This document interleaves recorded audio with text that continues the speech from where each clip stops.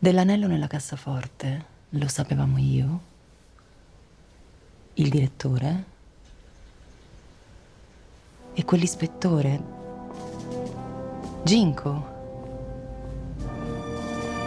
Ma certo, in albergo a Bel Air eri tu.